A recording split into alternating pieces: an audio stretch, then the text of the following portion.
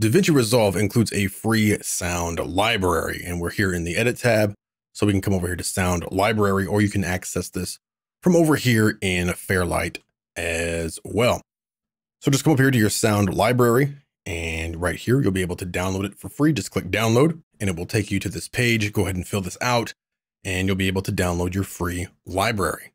Let me go ahead and close DaVinci Resolve, then head into your downloads folder, unzip it, and open it up. Let's go ahead and install this.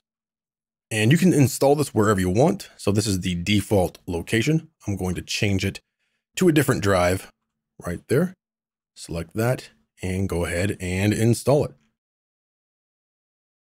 it. And we are done. So click finish and then we'll launch DaVinci Resolve. We're back in our project, head up here to sound library and now it looks different. Now you don't see anything offhand because you have to search for something. So if I want to whoosh, I'll just start typing something in and now we're presented with uh, some of our files. We can go ahead and preview them.